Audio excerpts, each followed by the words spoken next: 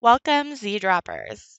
Today we're going to run through what ZeeDrop is and get signed up, installing the ZeeDrop Chrome extension to your Chrome browser. Take note, ZeeDrop will only work on Chrome. Finding the extension once you've installed it, and how to know when ZeeDrop is doing its work for you. Let's drop right in and feel free to pause if you need. So what is ZeeDrop? ZeeDrop is a Chrome extension used to automate current supported platforms such as Facebook Marketplace, Mercari, Etsy, and Poshmark.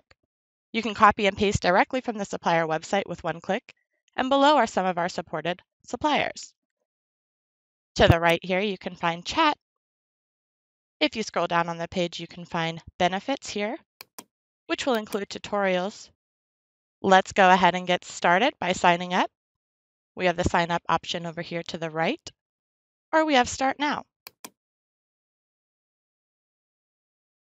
Here we are at the ZeeDrop sign up page. As you can see, the first week is free. After that, you will be charged $12.99 per month. If you have an affiliate coupon, you can go ahead and enter that here.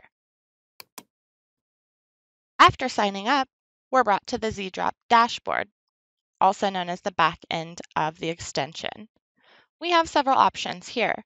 We have dashboard, quick messages, orders, and affiliate. Now, this is where you'll find all the most recent listings or products.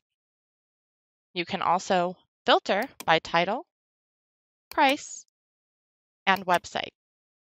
At the end of the day, you can export all items to an Excel spreadsheet for organization. We have quick messages. This is where you can key in custom messages so that you can auto respond to your customers on your Facebook Marketplace, Mercari, Poshmark, or Etsy. We have orders here to the left. This is where you will find any orders that have been placed using the copy address feature in your extension, which we'll go over more in another video. You can also export all of these orders to an Excel document.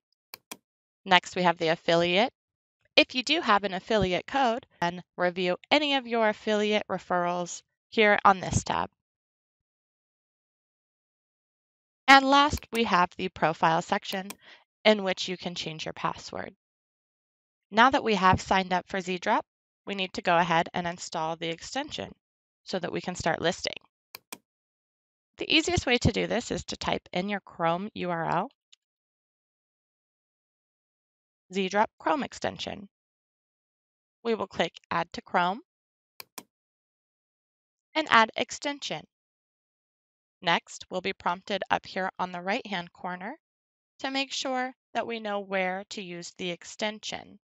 This extension must be used with ZeeDrop in order to list properly.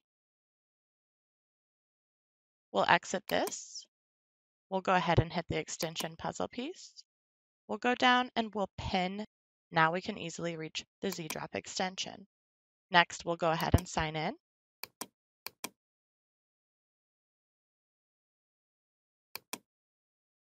And here we have our extension ready for use.